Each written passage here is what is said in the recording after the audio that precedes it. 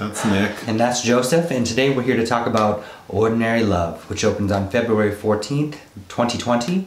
That's Valentine's Day, courtesy of Bleecker Street Media. It's directed by.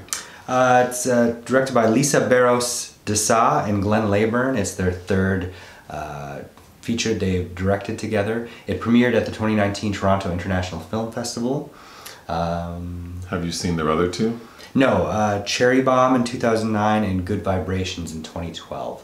Um, I think So, Good, oh. Good Vibrations uh, competed, or yeah, it competed in South by Southwest. What is Ordinary Love about? Uh, breast cancer. Well, breast cancer.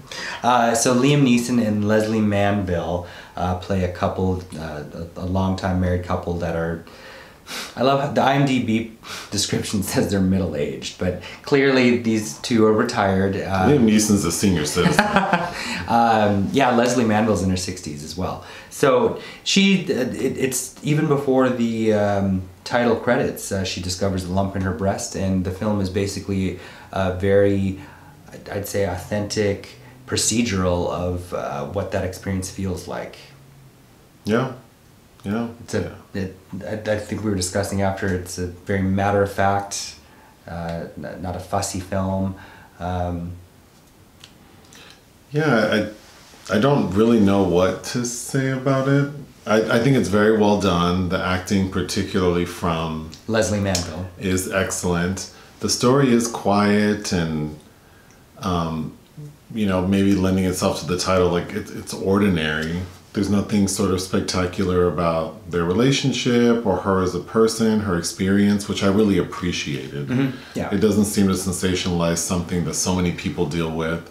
Uh, you know, in that sense, it's a little predictable Sure, yeah. but in a way that felt very real and and it is moving without being you know i don't think it's pandering for tears No, it's not schmaltzy at all. It's, No. I did get teary twice at least, but they were it's they were very uh sort of like tender moments. yeah Um, and I like that it's because there's a lot of scenes spent in hospitals and on operating tables, and the the theme that is stressed, I think, is everybody's supportive and kind to one another, and Yeah. respectful of experiences. And so i would i like this film because it, it it does not sensationalize this thing that so often is like oh, melodramatic. so melodramatic and and Twaddle. and you know I I think people just like it's a given that if you say you have cancer you're battling cancer then all of a sudden you get all this sympathy and Well, I think of like in 1998, there was like One True Thing with Meryl Streep and Stepmom with Susan Sarandon, and they're both dying of cancer, and the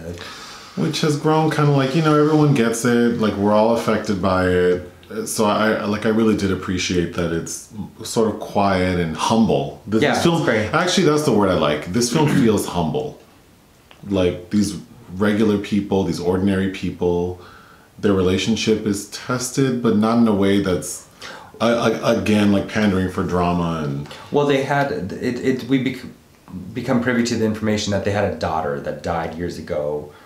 The, circumstances of it, which are not never really made clear. And in fact, we don't even know what the occupations of these people were. No. Prior to. But it doesn't matter. It doesn't matter. I think. Which is why the plot point of them losing a daughter was lost on me. Um, See, I- you explained it. I, I think it was a way for it, it worked as a way to isolate and contain their world because they're very much emotionally dependent on one another, uh, and also it weirdly so towards the end of the film they befriend a, another couple that is going through this experience as well as a gay couple, a, a teacher that used to, t- teach their daughter, uh, played by David Wilmot. Um, and and it, it their relationship kind of mirrors theirs this kind of how easy it is to be cut off from the world. There's no children and grandchildren. They don't have all these friends uh, per se. Uh, yeah so i thought it was a nice mirror image for this gay couple but I will admit, when I read the synopsis and seeing Liam Neeson is in it, I was um, not super excited. yeah it took some convincing to uh, Um, and you know, like he, he's his character is supposed to be sort of stoic and one note. So he's effective. He's he's probably sometimes maybe even a little distracting, but he he does a fine enough job. Yeah, yeah, he does a good job. but this is really Lesley Manville, who um, you haven't seen Phantom Thread. She No. played well uh, Daniel Day-Lewis's sister, and I forgot she was nominated for an Oscar in that. Oh. But she's been around for a long time. Uh, excellent in uh, some uh, Mike Leigh films like Another Year and Mr. Turner. Um, I really like her in this movie with Eva Green called Womb, directed by Benedek Fliegauf. Um, and uh, oh, and you have seen her. She's one of the. Go- this is a throwaway role, but she's one of the fairy godmothers in the Maleficent movies. oh. But you can.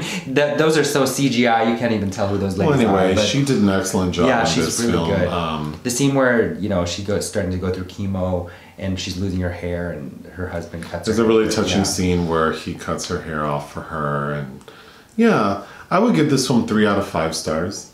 Yeah, I'd, I'd say three out of five is. But it is a, a, a very good movie. It just, you know, it is sort of a It was written by Owen McCafferty, uh, whose only other screen credit is for uh, a film based on a play he wrote called Mickybo and Me. Um, and I think you had commented that this felt like something that someone had experienced personally or with a relative. Yeah, I could see this film really resonating with someone who is either dealing with breast cancer or has a close friend or family member who has. Mm-hmm. As someone who hasn't, it it's effective. We had relatives that have had cancer. Sure, but I mean, But not to this my extent, personal yeah. sort of thoughts about it are very much like you know everyone gets it. No one's really special, so it is what it is. And this film kind of supports that, so I do like it. There- it just isn't like a very enjoyable film. No, it's not. It, but there's a minor theme. Uh, Lesley Manville's character says this too. Their, their names are like Tom and Joan, by the way. Uh, but it says like the, she's telling an, another very young woman that's come in for treatment. Like I, I like to think of it this is a train station. All the people coming and going because it's just so. It, it's an expected facet of our existence that Yeah. we're probably going to get cancer. What would you give this film? Uh, three out of five stars, I think is fair. Uh, very morbid for a Valentine's Day film, but uh, yeah. Are you done? Yeah, sure, I'm done. All right. Bye. Bye.